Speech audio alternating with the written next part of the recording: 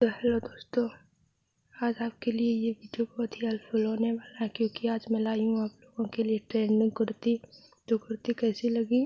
Comment में ज़रूर बताना एंड चैनल को लाइक सब्सक्राइब शेयर कर देना। Thank you